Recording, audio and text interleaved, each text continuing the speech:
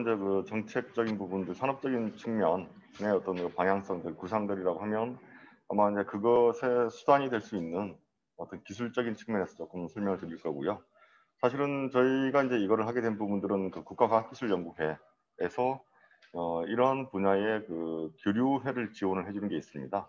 아, 다학제 융합 클러스터라는 부분인데요.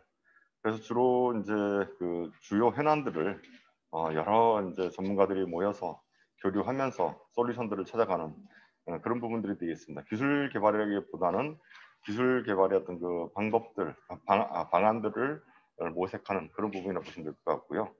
저희가 좀 그 국가과학기술연구에 제안했던 부분은 그 수소와 전력이 따로 떨어져 갈 수가 없고 기존에도 이제 뭐 분산형이라든지 이렇게 해서 그 융합하는 부분들이 이제 모색이 많이 되고 있는데 어, 기존에 이제 하고 있는 부분들을 조금 뛰어넘어서 광역 단위의 어, 그리드를 구성하는 데 있어서 어떤 방법이 좋을지 예, 그거를 조금 이제 그 조사를 하다 보니 음, 미국이라든지 러시아 뭐 이런 쪽에서 그 초전도체를 이용하는 그 수소 전력 어, 그 융합 그리드 또는 그런 어떤 그 시스템이 연구가 좀 되고 있었습니다. 거기에 좀 착안을 해서 어, 몇몇 기관들께 같이 협조를 구해서 좀 진행을 하고 있고요. 어, 오늘 그 설명 드리려고 하는 부분들은 그 이제 융합 클러스터 쪽의 개요를 간단히 설명을 드리고 아, 이걸 하게 된 그 배경으로 이제 관련 동향이라든지 그리고 저희가 좀 구상을 하고 있는 그 수소 전력 융합 스포그리드가 어떤 기술 개념을 가지고 있는지 이런 부분들에 대해서 설명을 드리겠습니다. 어, 저희는 이제 그, 그 NST 다학제 융합 이쪽에서 이제 R&R 부분을 한번 검토를 해봤는데 기존에 이제 그 수소 기술들 또는 그 장치, 라이센스 또는 부품 장비 이런 쪽 보게 되면 이제 판단하기 나름이지만 한 60% 이상은 어, 해외 기술이다, 뭐 도입이다 이렇게 좀 많이 평가를 하고 있습니다. 그래서 이제 그거를 뛰어넘는 방법이 국산화도 있고 우리가 이제 리딩을 할 수 있는 독자적인 그 추진 방법도 있을 것 같습니다. 그래서 여기서는 조금 더 2030 이후에 우리가 좀 리딩을 할 수 있는 그런 부분들을 좀 모색하자는 차원에서 좀 진행을 했고요. 그래서 이제 그 산업 혁신에 좀 기여할 수 있는 이런 부분들, 그 수산업을 좀 이제 그 활성화시킬 수 있는 동력이 무언가 아, 이런 쪽에서 이제 그 아이템을 좀 제시하자 하고자 하였고 그, 그 중에 우리는 주로 이제 그 대규모 수소 공급 플랫폼 또는 그 생산 쪽 그리고 공급 쪽 활용 쪽에 있어서도 어, 보통은 그 공급 쪽을 인프라라고 이렇게 많이 하고는 있는데 실제 기존의 에너지들 예를 들어서 뭐 LNG 도입이라든지 순수 수입에 의거해서 하는 부분들하고 좀 다르게 수소의 그 인프라라는 부분들은 조금 다른 개념에서 좀 접근이 돼야 될 것 같더라고요. 그래서 생산 파트 그리고 공급 파트 활용 쪽도 그 인프라 성격으로 가는 게 맞지 않는가 이렇게 좀 그 저희들이 한번 판단을 해봤고요. 그 중에서도 이제 그 대규모 공급 플랫폼 쪽에 노드 그리드라고 얘기를 하는데요. 이 부분에 대해서 어, 독자적인 기술들을 확보를 해서 그 산업 확장에 좀 기여를 하겠다. 이런 어떤 해결 방안들을 좀 논리 구조를 좀 가져갔고요. 그 다음에 이러한 부분들이 현재도 좀 문제가 많이 되고 있지만은 과연 국토 공간 내에 또는 그 주민들 사이에 어느 정도의 수용성을 가지고 있는지 수용성이라는 부분은 두 가지일 것 같습니다. 기술적으로 성능적으로 완벽할 수도 있지만 그 정서적으로 받아들이기 어려운 부분도 있습니다. 그래서 그 두 가지 측면에서 좀 접근을 해야 될 것 같고요. 어, 저희는 그래서 이제 그 낮은 단계로 좀 접근하는 부분들은 이제 그 이런 슈퍼그리드에 연결될 수 있는 노드에 해당하는 스테이션 이런 부분들을 지하 공간을 활용하는 부분들 그리고 그 스테이션이 하나의 기능만 가지는 게 아니라 주변에 그 renewable이라든지 전력이라든지 이런 부분들 같이 결합이 될 수 있는 부분들 이런 형태로 가는 게 아마 앞으로 한 10년 정도에 아, 우리가 좀 달성해야 될 부분들이 아닌가 보고 있고요. 한편 또 한 2030까지는 이런 부분들이 계속 그 수요라든지 공급이 확장이 된다 보면 음, 자연적이라기보다 그, 그, 그, 도시라든지 공간 내에서 여러 가지 사고들이 또 어, 그 발생할 수 있는 개연성이 있습니다. 현재는 주로 이제 그 도로 운송에 의해서 어, 부분적으로 일부 이렇게 운영은 하고 있지만 이런 부분들이 증가할 경우에 발생할 수 있는 여러 가지 위험성이라는 부분들이 전제적인 위험성이라는 부분들이 있습니다. 네, 그런 것들을 고려했을 때그 도로 운송 체계라든지 관련된 프로토콜, 모니터링 관리 이런 부분들이 좀 더 체계화되지 돼야 되지 않는가 이렇게 보고 있습니다.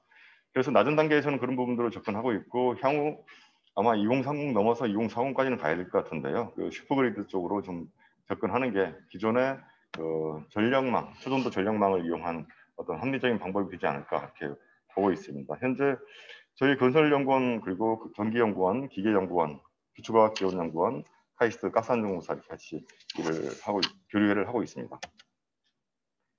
어, 이 슬라이드는 저희가 국가과학기술연구회에서 수소 관련해서 좀 핵심적인 그런 기획을 한번 해보자 해서 진행을 했던 부분들인데요.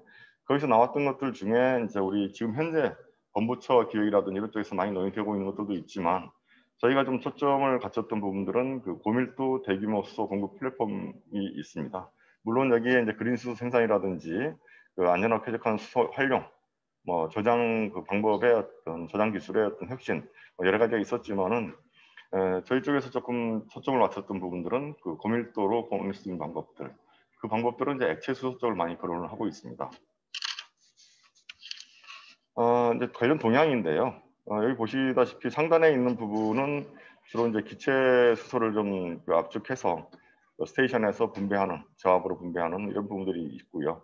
이제 미국이라든지 뭐 캐나다 이런 쪽, 유럽의 일부 쪽 같은 경우는 장거리 이제 액체 수송을 통해서 그 현지에서 캘리포니아라든지 이런 데서 이제 그 기, 화시켜서 이제 기화시켜서 고압으로 분배하고 또 저압으로 또 이제 그 낮춰서 차량에 공급하는 네, 이런 방식으로 좀 전개가 되고 있는데 이 액체 수소 방식 같은 경우는 보통 한 그 1, 200톤 이상 그런 정도의 수요가 있고 공급이 있다 그러면 어느 정도 경제성을 가져갈 수 있겠다 이렇게 좀 그 예상을 평가를 하고 있습니다. 아, 그 다음에 이제 그 수소든 아니면 전력이든 이쪽에 이제 스마트라는 어떤 개념이 같이 좀 결합이 돼야 아마 그 경제성이라든지 또는 편의성 이런 부분들을 확보할 수 있지 않을까 이렇게 보고 있고요.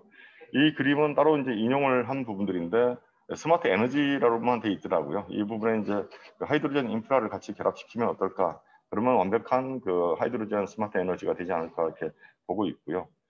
여기서 이제 주로 키워드들 보게 되면은 그 하이브리드라는 부분들, electric, e-waste, 그리고 이제 infrastructure, 시너지, 그리고 이제 energy storage, 뭐 e-mobility 여러 가지가 있는데요. 초점을 좀 맞추고 싶은 부분들은 그 하이브리드라는 부분들하고 시너지라는 부분들인데 유럽 수소 전략에서 보게 되면 이번 그 7월달에 발표한 유럽 수소 전략을 보게 되면 탄소 중립을 하기 위한 그 수소 전략입니다. 그 부분에서 강력하게 좀 얘기하고 있는 부분들이 이제 2030까지는 어느 정도 이 생산이라든지 공급에 있어서 그 경제성을 좀 갖춰야 되는 거 아니냐. 기존에는 이제 시범적으로 국가 주도적인 지원을 했지만 예, 거기에 맞는 기술 개발이 필요하다 하는 부분들을 많이 강조를 하고 있습니다.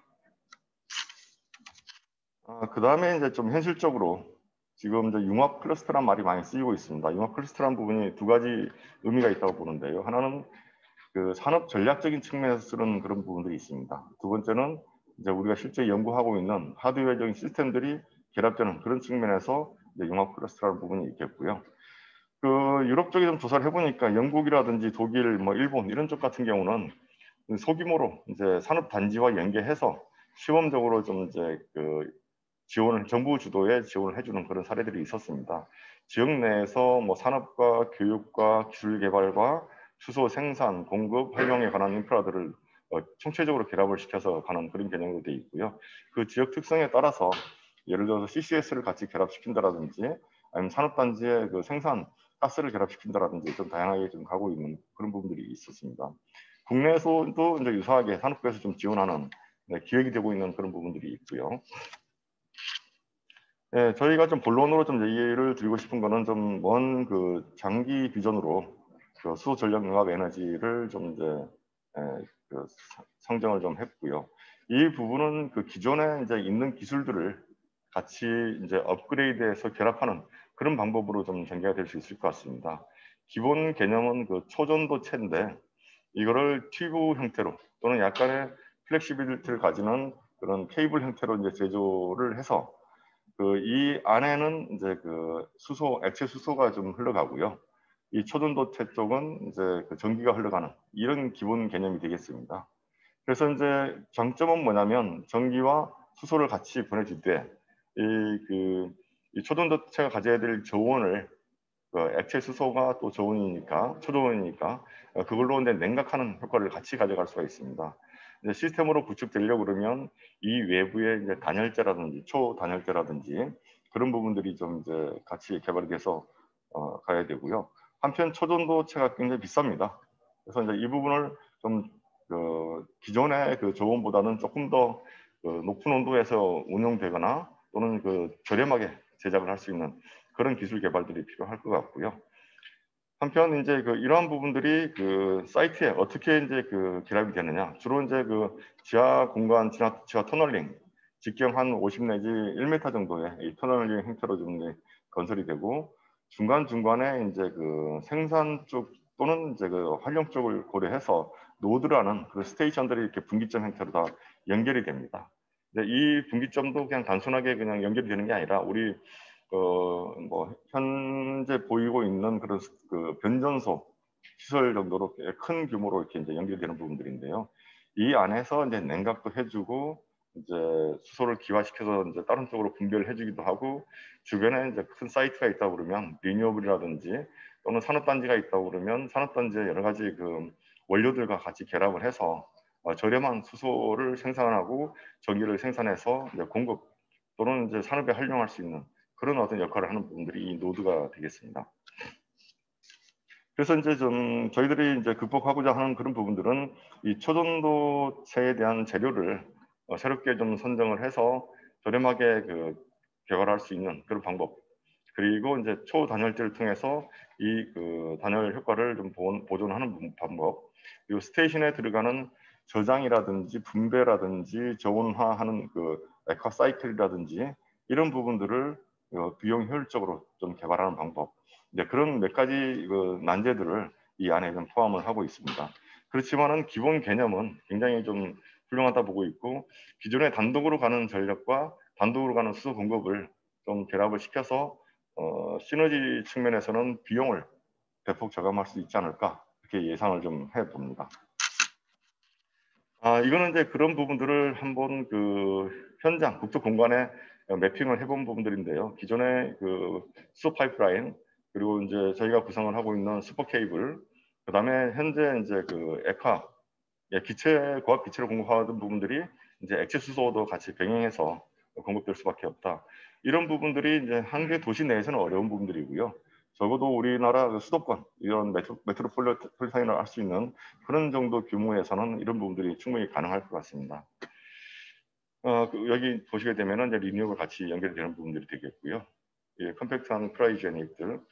저희가 이제 가시적으로 먼저 좀 접근하고자 하는 부분은 제안을 해놓은 부분들은 지하 이제 underground에 있는 이런 어떤 그 스테이션인데 기존에 우리 충전소 개념을 좀 뛰어넘어서 그한 10배 정도 이상의 큰 그런 거점형 음, 그 storage라든지 분배라든지 그런 파이프라인 연결 그러니까 포인트 포인트 어떤 지점과 지점에 수요가 충분하다 그러면 파이프를 연결할 수 있는 부분들이거든요. 이런 부분들을 좀 고려를 했습니다. 기존에 조금 기술 needs들을 좀 저기 해봤는데 어, 이 기존에 우리 일반적으로 생산 공급 저장 활용 이쪽 관계되는 여러 이제 기술 키워드들이 있는데 여기 이제 그 블루 수소라든지 공급 분배라든지 도로망 연계라든지 어, 이제 물리 화학적 저장이라든지 안전에 관한 것들 그러니까 이런 부분들이 주요 키워드가 되겠습니다. 어, 저희가 좀 이제 낮은 단계로 좀 접근하고 싶은 부분은 아마 우리 이제 그 GTC 쪽에서도 이제 분산형 발전을 많이 이제 그 전개를 하고 계시는데요. 아마 관계가 많을 것으로 보고 있습니다. 기존에 그 스마트 에너지의 수소와 그 결합이 되고 이런 부분들이 이제 좀 더 그 비용 효율적으로 가려고 그러면 아마 다양한 그 산업 거점 그리고 산업 단지 지역과 같이 연계해서 그 부분들을 어떻게 연결하는 것이 비용을 저감하고 효율적으로 에너지 쓸 수 있을 것인지 이런 부분들에 대한 충분한 고민이 좀 필요할 것 같습니다. 그래서 저희 쪽은 지금 그 수도시 쪽에 접근하는 부분과 도로망을 조금 더 안전하게 도로망을 이용해서 또는 물류 기지를 이용해서 공급하는 이쪽에 대해서 좀 국토부 쪽하고 좀 논의를 하고 있는 상황입니다. 예, 이상 좀 설명을 드리고 마치겠습니다. 예, 감사합니다.